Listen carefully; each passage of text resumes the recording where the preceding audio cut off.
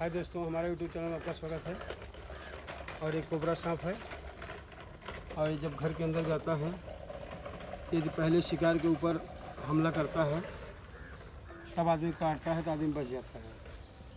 अगर पहले इंसान को काट लिया तो आदमी को मरने में पैंतीस मिनट लगेंगे। ज़्यादा से ज़्यादा। क्योंकि ज़्यादा मात्रा में पॉइजन डालता है। और इस शिकार की तलाश में घर के अंदर घुसता है।